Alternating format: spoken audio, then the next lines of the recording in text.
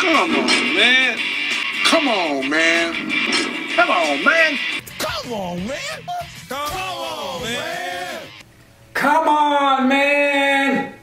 You knew it was coming this year. It's not a surprise. You knew I had my eyes on you. You knew I had my camera on you, and yet you still filled up my video camera with all kind of segments for Come On Man. But I'm not complaining. I don't have to explain it this year. You know what's going on.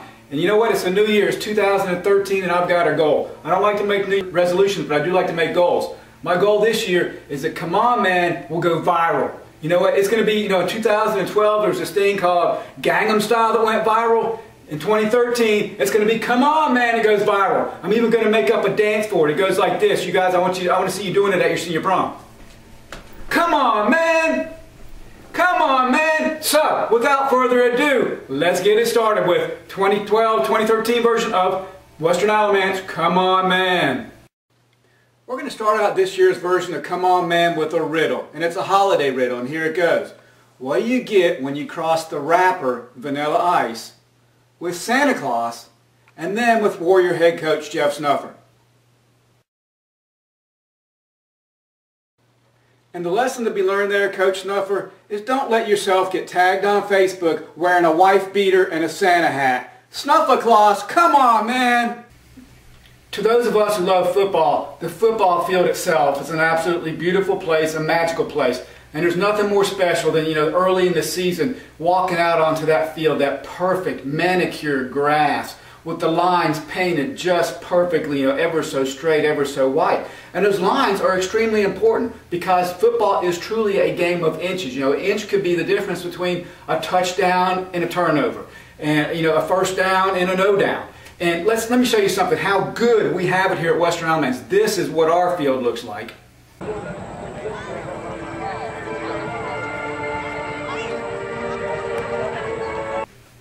And now here's another example from one of our other schools within the county that's our rivals. And you know what? They obviously take the exact same precautions and care of their football field. Here's an example. Just take a look at this. It's perfect.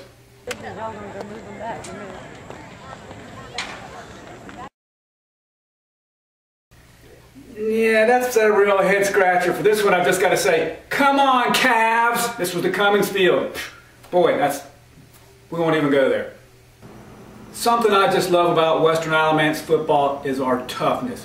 Our players are not only mentally tough, but they're also physically tough. You get them out on the field, and they're just beasts. You know, they give 110%, and they're going to hit you and smack you in the mouth. Now, one of the guys that I think is the toughest out there, I nicknamed him the Manimal because he's half man, half animal. TJ Harris, number 12. TJ was just goes crazy out on that field. He wants to rip your head off. Last year I talked about TJ being so tough on the fields, but we caught him on the sidelines doing a little dance and he didn't look so tough. So TJ, I thought this year maybe you'd be, you know, a little more conscientious about your sideline activity, but I found out something, TJ. You like to be pampered. You like the, the, dainty things in life. I think maybe for Christmas next year for your graduation, I'm going to get you a, a coupon to, to, the, to the eye spa or something like that so you can be pampered like this.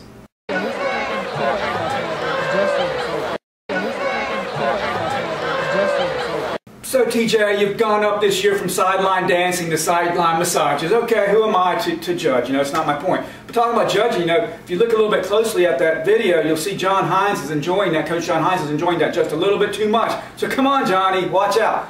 But TJ, you know, one thing I was wondering too is like, well, what else happens to TJ? What other special treatment does this man, the manimal get? You know, and I'm thinking, do you get manicures and pedicures? So I followed, I followed TJ into the locker room, and I caught this picture of him getting a, you know, getting a pedi.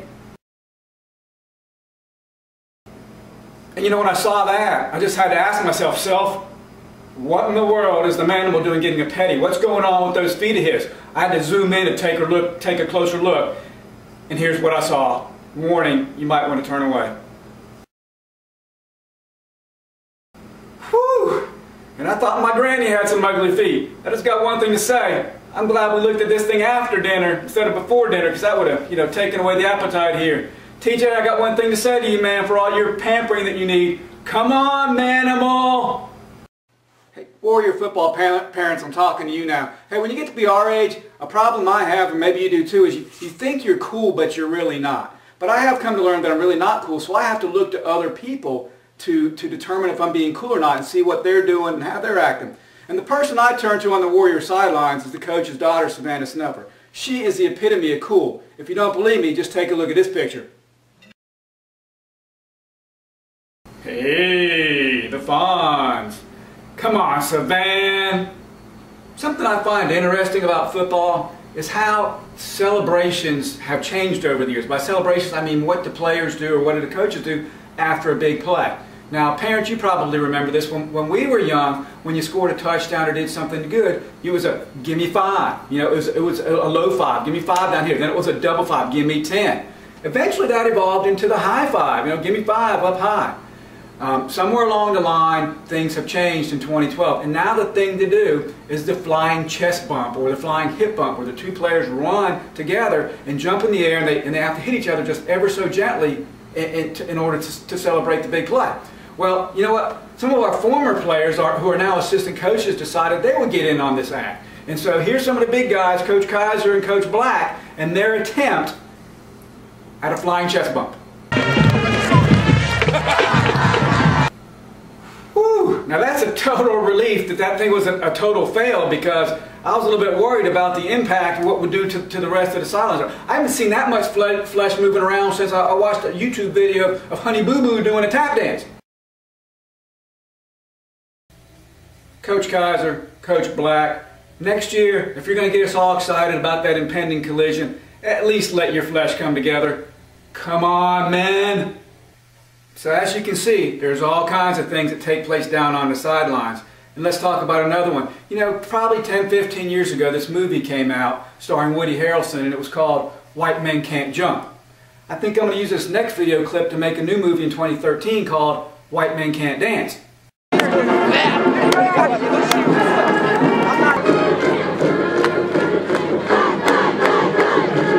Mitchner, I don't know what's worse, that failed chest bump or your attempt at being a cheerleader. I'm not sure, but I got one thing to say. Come on, Mitch.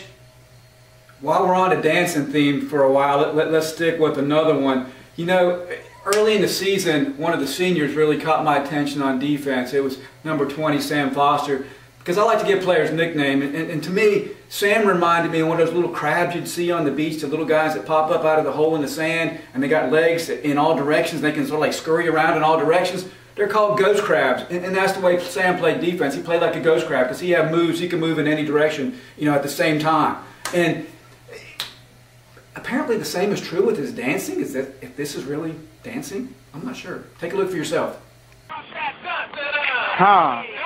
Oh. Oh.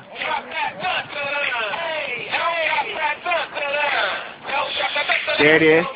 Hey. Hey. Hmm. Well, Sam, if I had to sum that up in a word, I think that word would be disturbing. And you know what? I really don't know what was more disturbing, your dancing or the guy shooting the video making all those grunt noises. Mmm, ah, you know. I got one thing to say to both of you guys. You know what it is. Come on, man. And apparently dancing is, is really the second most popular sport at Western Alamance. Here's another guy that likes to strut his stuff in the stands.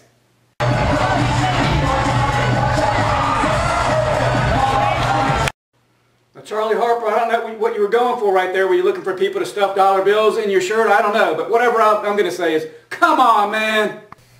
Two of the more versatile guys on our team are, are a pair of juniors, Justin Wilson and Brock Deathridge. You know, both of them can play a variety of positions on offense and on defense. In fact, I don't think there's anything they can't do well. Um, so it was no surprise that when, when earlier this season, when it was Coach Hambright's birthday, that, that Justin and Brock were selected by their teammates to be the persons who would take the water bucket and unceremoniously dump it onto Coach Hambright and, and part of the, the, celebration, part of the ritual of being a football player and a coach, you know, in a celebratory mood. So here's, take a look at our multi-talented superstars, Justin and Brock, trying to handle the water bucket.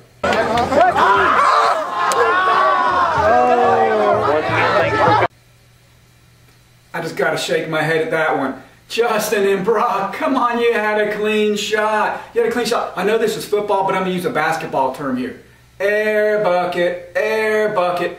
Not a drop on Coach Hambright, a poor defenseless old man. And you whiffed with the water bucket. Come on, man. I spoke earlier about one of my favorite tough guy defenders, TJ Harris. Now, TJ likes to really lay the hits on the opponents. But one thing TJ hasn't learned is that it's not always the opponents that's laying out the licks. Take a look at this one. That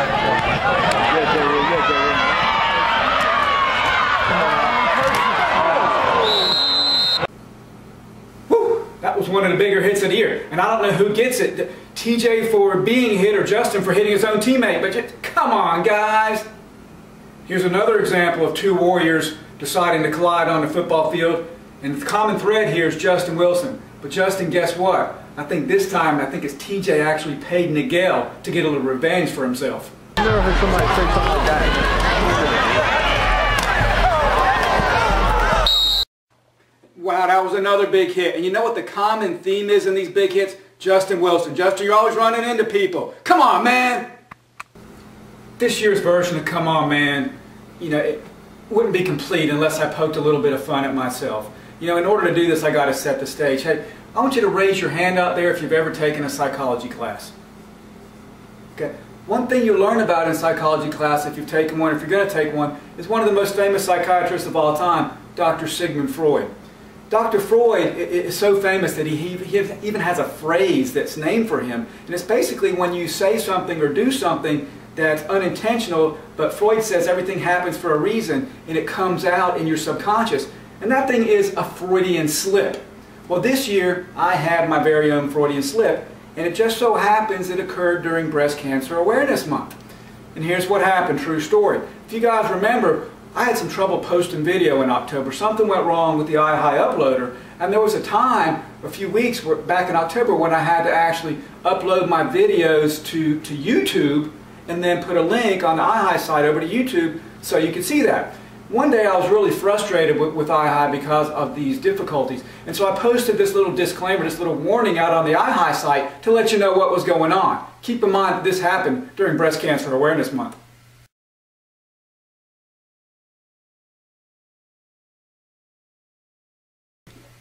Did you catch that? YouBoob.com during Breast Cancer Awareness Month? A Freudian slip if there ever was one, I confess. Thank goodness my wife caught that one before too many people saw it. At least I hope before too many people saw that. So just to me, come on, Kev. On iHigh, we did introduce a new feature this year, a post-game uh, video show called the Warrior Wrap-Up. I hope you guys saw it and I hope you enjoyed it. Um, my friend Ricky Portella and I would get, get on the field immediately following the game and do a quick video segment and try and give you, you know, a rehash of the game, you know, some of the highlights and, and what we observed during the game. And we thought that we were really doing a service to the team, you know. But then after uh, paying a little bit of closer attention to some of our videos and looking around in the background, we sort of felt like Rodney Dangerfield, if you know what I mean. You guys know Rodney? No respect. No respect, I tell you. No respect. Here's a segment of Warrior Wrap-Up that took place during the Williams game, or just after the Williams game. One of our biggest wins of the year. And look at what these clowns are doing in the background while we're trying to be serious. It was 2002, last time we lost to Williams here. And it was Bo Jordan's freshman year. It was like 7 to 3 was the final score of that game. Uh, Bo Jordan. Bo Jordan must be 100 years old by now. It makes me feel old. I don't know about you. Um, let's talk props to our crowd. Oh, my goodness. Were, those, were they loud or what? Well, the Warrior crowd, they always travel great, especially this game. It's a little bit special game, you know, crosstown rivals with, with uh, Williams. And uh, our student section was great tonight. The band was great. We had a great crowd. Absolutely. The game got off to a good start. Warriors got the ball, moved downfield methodically, really liked the mixture, pulled in Brock at quarterback as we got close to the goal line. Sam Foster, Charlie Harper, Brock Deathridge.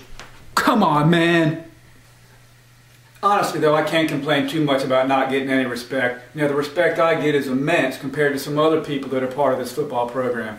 the person that I think gets the least respect out of anybody is the coaching staff, and, and in particular, the offensive line coach. Now, we have a great one here in Coach Melton. But you know what? No matter what happens on a football team, the offensive line coach is going to get the blame. I mean, somebody throws an interception. Well, it's the offensive line fault. They didn't block well. Um, we fumble the ball. It's the offensive line fault. They didn't block well. You know, we score 50 points. Well, we should have scored 55 if the offensive line would have blocked on that one play. You know, it's so bad that even poor Coach Melton doesn't even get any respect from, from, from the little kids. Look at here. You got to look at this one. This is going to be a quick one, but take a real close look down, you know, around uh, his thigh level, and look at the little munchkins running around and the abuse he takes from his own daughter. And so after the lashing by his own daughter with the towel, he has to get saved by the coach's daughter, you know, little Sarah Snuffer. And, and you got to keep in mind, this is coming after the McMichael game when we won 66 to nothing. It's just no respect. No res I'm all for you, Coach Melton. I'm 100% behind you, and I understand what it takes. And I got one thing to say to those little munchkins. Come on, munchkins. Earlier in the video, we did kind of a look-alike segment where we had Savannah Snuffer in, hey, the Fonz, you know, looking like each other. I had another look-alike this year, and then this one actually struck me as funny. It happened on senior night. I want you to take a look at this. A young man, senior, couldn't play that night, Brad Reed. Take a look at Brad and just pay attention to his facial expression. Now think about it. Where have you seen that look before? Think back to the summer. McKayla Maroney, in indifference, the Olympic medalist. She lost the gold and turned it up silver. Brad, this is your senior night. It's not the same thing as losing a gold medal. Put a smile on your face or a tear in your eye, but don't look like this. Come on, man. Here's another senior look-alike photo, but I'm not going to let you, I'm not going to tell you what I think it looks like. I'm going to let you be the judge. This happened even before the season started, back, you know, in, in the hot weather when the, the, athletes that were out there, the football players and some other athletes were out there doing a, a car wash for FCA to run, raise money for summer camp. Take a look at senior offensive lineman Michael Bell as he's trying to raise business out on the street. Now, Michael, with that long hair and short shorts, I'm not sure exactly what you were selling out there, but you know what? It was effective. It caused me to come in and get a car wash. But next year, I know Michael's gone, but any of you guys that want to get out there and, drum up some business for a car wash, let's at least keep the short shorts, okay? Come on, Bell. This season, on senior night, I decided to do things a little bit different. In seasons past, I would take uh, the microphone and interview the seniors and, and, get their perspective on what's going on or what was going through their mind on senior night. And it was always a very emotional experience. This year, I decided to do something different, and I was just going to let them have free reign. Hey, these are big boys, well-versed, highly educated. I'm just going to give them the microphone and give them the opportunity, 5, 10, 20, whatever it takes seconds, to say what's on their heart and their minds. Um, it was good from two points of view. Number one, I didn't have to come up with the questions.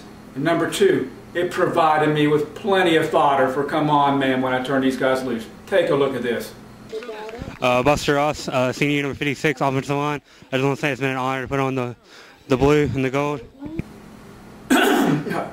Buster, Buster, Buster, pay attention here. The blue and the gold? Seriously? Looks blue and white to me. Come on, man. But don't feel so bad, Buster. At least you got your name out right. Here's a couple of guys that forgot who they were. Hello. Introduce yourself. Hello. Introduce yourself. Senior right guard. Mm, hold on, hold on. I said right. Okay. Senior right. Senior right guard, Cody Rice. That was Sam Foster, otherwise known as, uh, and Cody Rice, otherwise known as, k k k k Come on, Sam. Come on, Cody. Next up, we have senior Dennis Neal. Now, Dennis spoke very eloquently until you actually listened to what he said. Dennis Neal, number 94. And this team is the best team I've ever known. It's the only team I've ever known, but... Dennis, this is the best team I've ever played on. Of course, it's the only team I've ever played on. Let me give you a piece of advice, Dennis. Don't use that philosophy in other areas of your life. For example, when you go out on a date, don't tell the young lady, you're the prettiest girl I've ever dated. Of course, you're the only girl I've ever dated. Come on, Dennis, come on, man. And kind of to close things out, we'll have a, the senior introduction of one of the guys who's never at a loss for words, Mr. Eloquence himself, the man behind the mullet, Jay Underwood. I'd like to give a shout out to my parents, God, and uh, all my teammates and coaches. For them, I wouldn't be here and be as you know talented as I am. And so talented Jay Underwood. Um, are we going to have to change your nickname from Mr. Mullet to Mr. Humble? Good job, Jay. Come on, man. And I'm sad to say that that's pretty much going to wrap up this year's version of Come On, Man. One thing I did learn this year, and I think it's great in a way, maybe it's not great, I have to ask the coaches, but it seems like the players were, were more interested in getting on, come on man, than we're getting on the highlight clips. But you know what, hey, we got to laugh at ourselves. If we don't, then life's no fun. So guys, remember this. Um, next year, always remember that there's always a camera looking at you. I got my eyes on you. And don't get offended when you show up on Come On Man. You got to pull on those big boy panties and just be tough about it. We're not trying to offend anybody. So seniors, a special thank you to you. You guys are a special class, and I really do appreciate what you've done for this school and this program and for the friendship you've shown me. You guys are great. So once again, one, one final reminder, help me make it go viral. Remember that dance. Come on, man.